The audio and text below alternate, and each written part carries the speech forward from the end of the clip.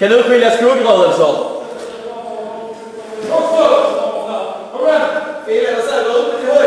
Ja, exakt där. Det kan vara draperiet.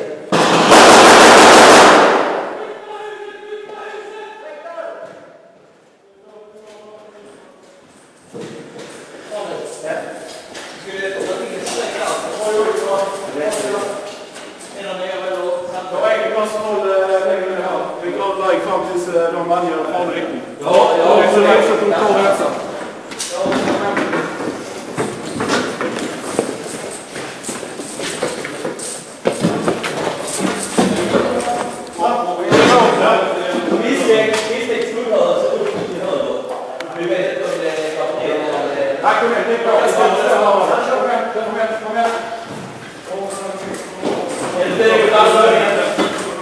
Följ vägen nu.